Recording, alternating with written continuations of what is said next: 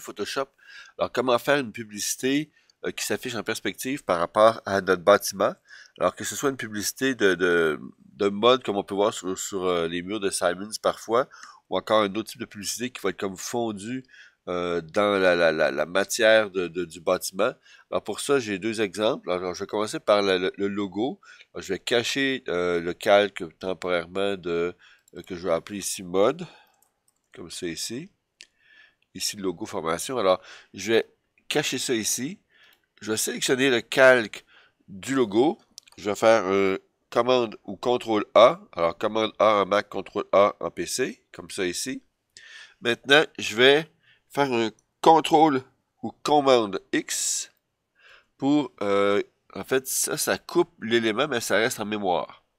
Par contre, je dois toujours rester sur le calque du logo qui a été coupé. Maintenant, je vais aller chercher le, filtre point de fuite ou vanishing point si vous avez une version anglaise. Là, maintenant, je vais m'appliquer le premier outil quand il y a... En fait, cet outil-là va permettre de faire des perspectives par rapport aux perspectives déjà existantes. Alors, par contre, il faut lui faire une grille ou une matrice à partir de, de l'outil grille, comme ça ici. Alors, je vais juste pointer ici le centre. Et tout ce que j'ai à faire, c'est de suivre les arêtes de mon bâtiment, comme ça ici et de, respecter vraiment la forme du bâtiment et des, arêtes comme ceci. Et si c'est pas tout à fait juste, je vais pouvoir quand même modifier les éléments comme ça ici pour vraiment m'adapter. Si je veux faire le coin, après ça, si je veux aller sur l'autre côté, j'appuie la touche commande ou contrôle et comme ceci, je vais pouvoir faire ici le mur euh, qui est à l'ombre du bâtiment. Maintenant, tout ce que j'ai à faire, c'est à faire euh, CTRL ou commande V. Ça colle l'élément et maintenant je peux glisser et ça va suivre la forme carrément ici comme ça. OK? Alors, si jamais c'est trop grand, alors il y a rien qui vous empêche de prendre l'outil qui permet de réduire, le même outil qu'on voit dans Photoshop pour réduire, faites majuscule pour réduire en perspective.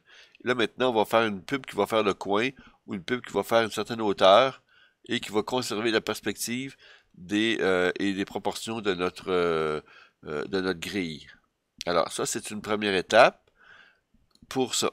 Maintenant, je vais la mettre à l'ombre ici, celle-là. Je vais la mettre de ce côté-là, puis je vais réduire un petit peu encore en faisant majuscule, comme ça ici. Comme ça ici. Alors là, encore là, ça prend les proportions. Il faut faire attention, il y a une lumière. À ce moment-là, il faudrait que je fasse un masque une fois terminé, mais je vais y aller juste au-dessus de la lumière comme ça. Donc, là maintenant, je peux faire OK là-dessus. Maintenant, pour que ça soit plus réaliste, ben, je, vais, appliquer une valeur de genre incrustation ou encore lumière tamisée, comme ceci.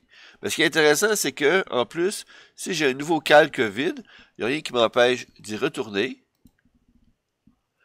de recoller à nouveau, et il va avoir son propre, euh, son propre espace encore pour le nouveau logo que j'ai collé pour faire, exemple, la version de ce côté-ci, comme ça. Alors encore, si je fais OK là-dessus, maintenant je viens appliquer l'incrustation ou lumière tamisée. Ben, incrustation, je pense que c'est mieux. Comme ceci. Maintenant, je vais faire la même chose pour la publicité que je vais prendre comme ça. Je vais faire Select All comme ça. Alors, tout sélectionner. Alors, euh, commande A.